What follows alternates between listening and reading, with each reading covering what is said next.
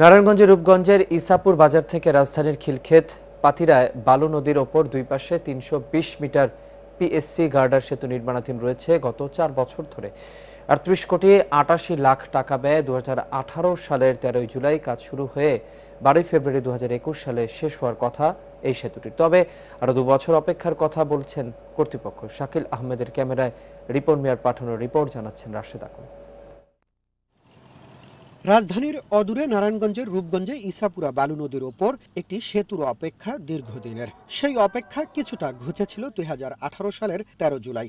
কিন্তু অপেক্ষার প্রহর শেষ হচ্ছে না এ অঞ্চলের হাজারো মানুষের। সেতুটি সময় মতো না হওয়ায় স্থানীয় পনেরো গ্রামের হাট ইসাপুরার ব্যবসায়ীদের কমেছে বেচাকেনা। ঝুঁকি নিয়ে প্রতিদিন পার হতে হচ্ছে। স্কুল, কলেজের শিক্ষার্থী সহ অসুস্থ রোগী ও স্থানীয়দের।